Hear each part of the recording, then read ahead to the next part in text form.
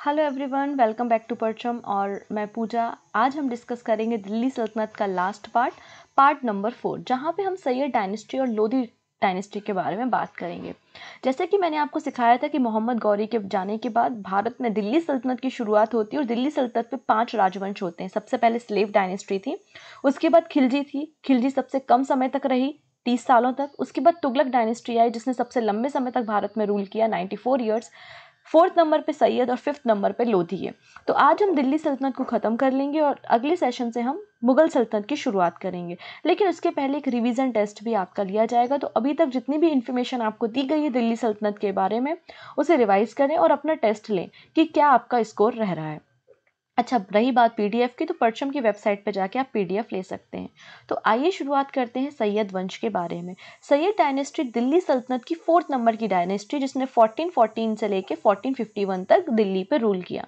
अच्छा आप लोगों ने तुगलक के समय का भी भारत देखा होगा तो इन्होंने तुगलकों का जो साम्राज्य था, वो पूरे भारत में था। लेकिन सैयदों का आप देखिए सैयद जो हैं, वो पूरे भारत में कब्जा नहीं कर पाए। ना ही सैयदों ने बहुत ज़्यादा रिवेन्यू इकट्ठा किया, ना ही सैयदों ने तुगलकों की तरह बहुत ज़्यादा एडमिनिस्ट्रेटिव वर्क किया वेलफेयर के काम किए, नहर कुएँ एट्सेट्रा ऐसा कुछ भी नहीं किया। बहुत ही शांत तरीके से सैयद डायनेस्टी निकल जाएगी, ऐसा कुछ भी इन्होंने बहुत ही खासम खास काम नहीं किया है। तो आइए हम शुरुआत करते हैं सैयद डायनेस्टी के बारे में, लेकिन उसके पहले जान लेते हैं सैयद डायनेस्टी में चार राजे हुए। चार किंग हुए। कौन कौन से? खिरज खां उसके बाद मुबारक शाह, मोहम्मद शाह और आलम शाह। ये चार राजा जो थे, वो सैयद डायनेस्टी से बिलोंग करते थे। सबसे पहले अगर मैं बात करूँ खिरज खां के बारे में, आप लोग ने एफ़ टी का नाम सुना है? मतलब फिरोज शाह तुगलक का नाम सुना है? फिरोज शाह तुगलक के समय मुल्तान के गवर्नर जो थे, वो खिरज खां थे। और काफ़ी खासम खास व्यक्ति थे फिरोज शाह तुगलक के। लेकिन फिरोज शाह तुगलक की डेथ होने के बाद खिरज खां को भी अरेस्ट कर लिया जाता है। लेकिन किसी तरीके से चंगुल से भागने में सक्सेसफुल हो जाते हैं और 1398 में जब तैमूर लंग भारत पर हमला करते हैं, तब खिरज खां तैमूर लंग की सहायता करते हैं। ठीक है? इसलिए इनको तैमूर लंग का सेनापति भी कहा जाता है। और फिर जब तैमूर लंग लौट कर जाते हैं तो मुल्तान, लाहौर, देवालपुर सभी इन रियासतों का राजा बना के किसको जाते हैं? दीवानी अधिकार देके जाते हैं खिरज खां को। इस तरीके से खिरज खां सैयद डायनेस्टी की शुरुआत करते हैं।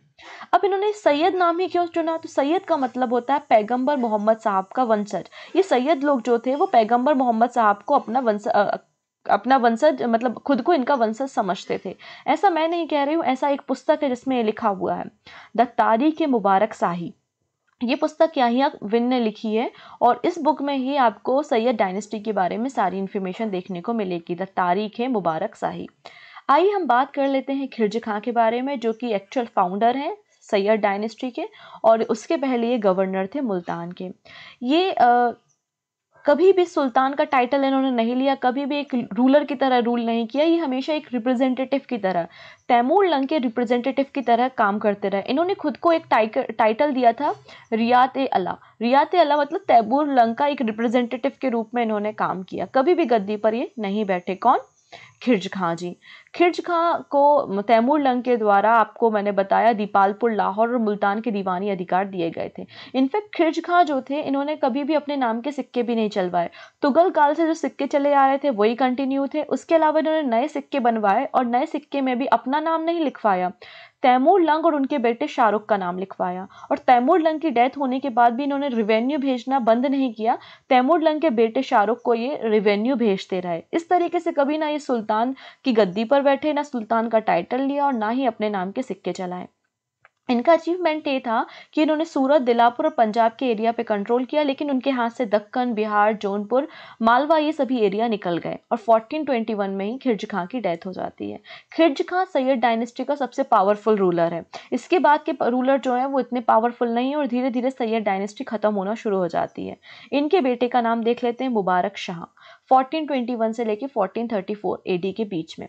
मुबारक शाह खिरज खां के बाद गद्दी पे बैठते हैं, लेकिन ये रैयत आला की टाइटल से खुश नहीं है। ये अपने आप को सुल्तान का टाइटल देते हैं। साथ ही साथ जो तुगलक वंश के और उसके अलावा तैमूर लंग और शाहरुख के सिक्के चल रहे हैं, उनको भी बंद करवाते हैं अपने नाम का खुदवा पढ़वाते हैं और अपने नाम के सिक्के भी मुबारक शाह के द्वारा जारी किए जाते हैं। इसके अलावा 1433 एडी में मुबारक शाह जो होते हैं, यमुना नदी के किनारे एक शहर भी बसवाते हैं, जिसका नाम होता है मुबारकाबाद। इनफैक्ट याहिया बिन जो है, जिसने ये पुस्तक लिखी है तारीख मुबारक शाही इस पुस्तक के लेखक को भी संरक्षण देने का काम किसने किया है? मुबारक शाह ने ही किया है। ठीक है? मुबारक शाह की डेथ के बाद 1434 में हो जाती है और इनका कोई बेटा नहीं होता है। इनका जब कोई बेटा नहीं होता है तो अमीर वर्ग होता है और ये लोग सभी लोग षडयंत्र करके सरवर उल मुल्क के द्वारा जो है वो मुबारक शाह को मार दिया जाता है। और मुबारक शाह की डेथ के बाद मोहम्मद शाह गद्दी पर बैठते हैं और सरवल उल मुल्क और अमीर वर्ग जो लोग होते हैं, वो मोहम्मद शाह को गद्दी पर बिठालते हैं 1434 से 1445 के बीच में। जैसे कि आप लोग पढ़ते हैं कि प्राइम मिनिस्टर के पास सारी एग्जीक्यूटिव पावर होती है और नाम मात्र का एग्जीक्यूटिव कौन होता है? प्रेसिडेंट ऑफ़ इंडिया होता है। ऐसा आप लोग ने पॉलिटी में पढ़ा होगा। यही मसला यहाँ पर भी है। नाम मात्र का राजा मोहम्मद शाह है। उसके अलावा सारी एडमिनिस्ट्रेटिव पावर सारा कंट्रोल किसके पास है? सरवर उल मुल्क के पास है।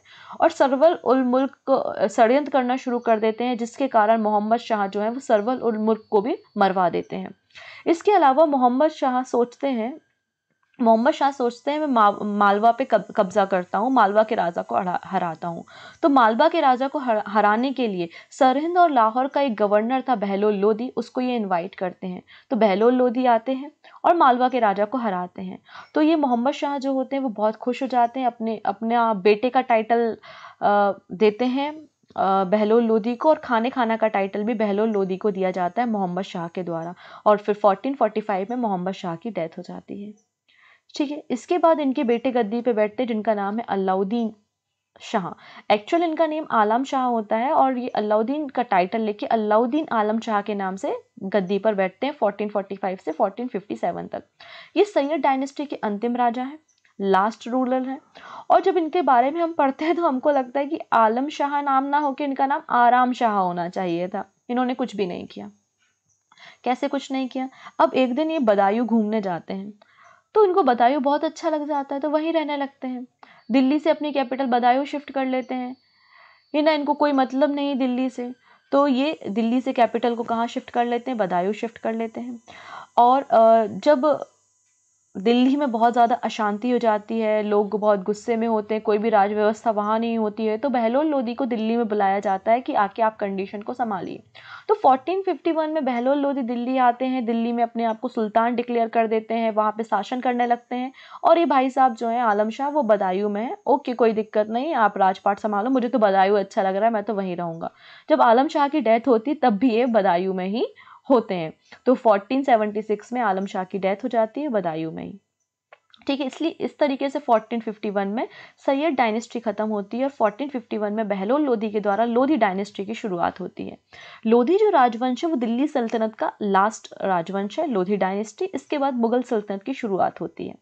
1451 से 1526 के बीच में इन्होंने रूल किया था और लोधी डायनेस्टी में बेसिकली तीन राजा हुए, बहलोल लोधी, सिकंदर लोधी और इब्राहिम लोधी। आइए हम बात करते हैं सबसे पहले बहलोल लोधी के बारे में।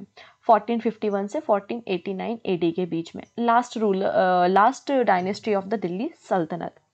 तो बहलोल लोधी जो हैं, सुल्तान बनने से पहले मैंने आपको बताया, सरहिंद और गवर्नर थे सरहिंद के। और लाहौर के भी गवर्नर के रूप में इन्होंने सेवाएँ दी थी। इसके अलावा इटावा, ग्वालियर, मेरठ, इन सभी एरिया में इन्होंने कब्जा किया, जौनपुर के एरिया में भी इन्होंने कब्जा कर लिया। इनकी जो सबसे महत्वपूर्ण विजय थी, वो ग्वालियर की विजय थी और जो ग्वालियर का फोर्ट विजय करके वो लौट रहे थे, ग्वालियर के किले को जीत के वो लौट रहे थे तो रास्ते में बीमार पड़ जाते और इनकी डेथ हो जाती है बहलोल लोधी की। बहलोल लोधी एक बहुत अच्छे रूलर थे। ये कभी भी जब अपने कमांडर से बात किया करते थे तो कभी भी थ्रोन पे नहीं बैठा करते थे, उन लोगों के साथ ही बैठा करते थे, जिससे उन लोगों का सपोर्ट भी हमेशा इनके साथ बना रहा बहलोल लोधी। और 1489 में इनकी डेथ हो जाती है। इसके बाद इनके बेटे सिकंदर लोधी गद्दी में बैठते हैं 1489 से 1517 तक। इनका एक्चुअल नाम निज़ाम शाह होता है, लेकिन इस सुल्तान सिकंदर शाह के टाइटल के साथ गद्दी पर बैठते हैं। लेकिन अमीर वर्ग और दिल्ली की सल्तनत इनको उस तरीके से राजा मानने से मना कर देती है। रीज़न इज़ दैट कि इनकी जो मदर होती हैं, वो हिंदू होती हैं। तो इसलिए ये हिंदुओं के खिलाफ बहुत ज़्यादा कठोर पॉलिसीज़ बनाते हैं, जजिया इम्पोज करते हैं तीर्थ यात्रा पे जाने के लिए टैक्सेस इम्पोज करते हैं हिंदुओं पे। क्योंकि इनकी माता हिंदू है, अगर ये अपने आप को एक बहुत कट्टर मुसलमान दिखाना चाहते हैं तो इनको हिंदुओं पे अत्याचार करना पड़ेगा। तो ज्वालामुखी टेंपल को डिस्ट्रॉय कर देते हैं, मथुरा के टेम्पलों को डिस्ट्रॉय करने का काम भी सिकंदर लोधी के द्वारा किया कर, जाता है। इसके अलावा ये जो जुलूस निकालने पे मना कर देते हैं और जो महिलाएँ मज़ार वगैरह पे इबादत करने जाती हैं, उन पे प्रतिबंध लगा देते हैं। तो ये सारे काम सिकंदर लोदी के द्वारा ही किए गए। सिकंदर लोदी ने एग्रीकल्चर को मेज़र करने के लिए, ज़मीन को मापन करने के लिए एक नया मेज़रमेंट यूनिट निकाला, जिसका नाम था गजे सिकंदरी। गजे सिकंदरी। ऐसा बोला जाता है कि एक गजे सिकंदरी लगभग 32 इंचेस के बराबर हुआ करता था। इन्होंने एक जासूसी डिपार्टमेंट की भी शुरुआत की थी, साथ ही साथ अपने खातों की, अपने जो भी रिवेन्यू आया, उन सब की जाँच करने का काम भी सिकंदर लोदी करते थे। इन्होंने आगरा शहर बसाया था। तो आगरा शहर की स्थापना जो है, वो सिकंदर लोदी ने की थी और इसके अलावा दिल्ली से अपनी कैपिटल को ये आगरा शिफ्ट करके ले गए थे सिकंदर लोदी आप लोग ने अकबर के टॉम के बारे में सुना होगा, वो कि सिकंदराबाद में है। तो सिकंदराबाद जो जगह है, वो भी सिकंदर लोधी के नाम पर, सिकंदर शाह लोधी के नाम पर ही पड़ी है। ठीक है, इसके अलावा ये जो थे, ये म्यूज़िक के बड़े शौकीन थे, इसलिए इनका जो रिलेशन है वो सहनाई से रहा है। ये शहनाई बजाते थे और इनका जो म्यूज़िक वर्क है वो लजाती लहजाती सिकंदर शाही में आपको इनका म्यूज़िक वर्क देखने को मिलता है।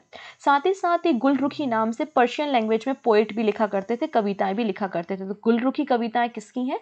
आप कहेंगे सिकंदर शाह लोधी की और फिफ्टीन सेवनटीन में इनकी डेथ हो जाती है। इनके दो बेटे होते हैं, एक इब्राहिम लोधी होता है और एक जलाल लोधी होता है। इब्राहिम लोधी और जलाल लोधी यहाँ पे देख लेते हैं तो इब्राहिम लोधी, जलाल लोधी को मार देते हैं और पूरी दिल्ली सल्तनत पे कब्जा कर लेते हैं। तो 1517 से 1526 तक इब्राहिम लोधी का रूल रहता है लोधी डायनेस्टी में। ये लोधी डायनेस्टी के साथ साथ पूरी दिल्ली सल्तनत के अंतिम राजा होते हैं इब्राहिम लोधी। ठीक है? इब्राहिम को बेसिकली आगरा का एरिया मिलता है, जलाल को जौनपुर का एरिया मिलता है, लेकिन इब्राहिम जलाल को मार के पूरी दिल्ली सल्तनत पे कब्जा कर लेते हैं। उसके बाद इब्राहिम प्लान बनाते हैं मेवाड़ पे कब्जा करने का, और उस समय मेवाड़ के राजा हैं राणा सांगा। तो राणा सांगा और इब्राहिम लोधी के बीच में लड़ाइयाँ होती हैं। दो बैटल बेसिकली इब्राहिम लोधी और राणा सांगा के बीच में होती है। एक तो बैटल ऑफ़ खतौली है और दूसरा है battle of Dholpur. Battle of Khatauli fifteen eighteen में होती है और battle of Dholpur fifteen nineteen में होता है। दोनों ही बैटल में राणा सांगा जीत जाते हैं और इब्राहिम लोधी हार जाते हैं। ठीक है? इसके अलावा ये बहुत ही यू नो क्रूर होता है, बहुत ही कठोर पॉलिसी जो है वो मुस्लिम के अगेंस्ट भी ये लेकर आता है। जो लाहौर के गवर्नर हैं पंजाब लाहौर के गवर्नर हैं दौलत खान उनके बेटे दिलावर खान के साथ भी अच्छा व्यवहार नहीं करता है। जो बड़े बड़े ऑफिसर हैं सीनियर कमांडर हैं उनको रिप्लेस करना शुरू कर देता है। इसलिए अमीर वर्ग जो है वो इसके अगेंस्ट हो जाता है। इसलिए जब बाबर इस पर हमला करता है तो अमीर वर्ग इसका साथ नहीं देता। साथ ही साथ इसके जो चाचा हैं आराम शाह वो भी इसके अगेंस्ट हैं। इसलिए दौलत खान और, आराम शाह बाबर को इन्विटेशन भेजते हैं। बाबर जो है वो तैमूर लंग और चंगेज़ खान का ही वंशज है और उसको इन्विटेशन भेजते हैं कि आप भारत और और इब्राहिम लोधी को हराओ क्योंकि अभी तक ये रिकॉर्ड रहा है कि जो ये बाबर या तैमूरलंग या चंगेज़ खान जो होते हैं, वो आते हैं, हमला करते हैं प्रॉपर्टी को लूटते हैं, संपत्ति को लूटते हैं और चले जाते हैं, कभी भी रूल नहीं करते। तो उसी उद्देश्य से जो है इब्राहिम लोदी को मारने के लिए बाबर को बुलाया गया था कि इब्राहिम लोदी को गद्दी से हटाएँगे और हम गद्दी में बैठेंगे, लेकिन ऐसा होता नहीं है। बाबर तो जीतने के बाद जाता नहीं है और वहीं पर दिल्ली सल्तनत की खात्मा होता है और मुगल सल्तनत की शुरुआत होती है। तो इब्राहिम लोदी को मारने के लिए दौलत खां के द्वारा जो है वो बाबर को इन्विटेशन भेजा गया और बाबर आते हैं। और बाबर और इब्राहिम लोधी के बीच में फ़र्स्ट बैटल ऑफ़ पानीपत होती है 1526 एडी में। पानीपत का पहला युद्ध 1526 में, जिसमें बाबर जीत जाते और इब्राहिम लोधी मारे जाते हैं। और इस तरीके से लोधी डायनेस्टी का खात्मा होता है और मुगल सल्तनत की शुरुआत होती है। लेकिन एक खास बात इब्राहिम लोधी के बारे में ये है कि दिल्ली सल्तनत के जितने भी राजा हुए, या तो वो चौगान खेलते हुए मर गए या बीमार होकर मर गए, लेकिन एकमात्र राजा है इब्राहिम लोधी जो युद्ध के मैदान में मरा। तो दिल्ली सल्तनत का एकमात्र राजा युद्ध के मैदान में मरा वो इब्राहिम लोदी था। चाहिए अब दिल्ली सल्तनत से रिलेटेड कुछ एमसीक्यू को भी हमको देख लेना चाहिए। तो आइए इनका आंसर आप हमको दीजिएगा कमेंट सेक्शन में, पहला question the city of Jaunpur was founded by Jauna Khan के नाम पे जौनपुर सिटी बनी थी और जौना खान मोहम्मद बिन तुगलक का नाम था। और मोहम्मद बिन तुगलक की याद में फिरोज शाह तुगलक ने इस सिटी को बनवाया था। तो सही आंसर हो जाएगा ऑप्शन नंबर बी करेक्ट है? चलो, अगला प्रश्न देखेंगे।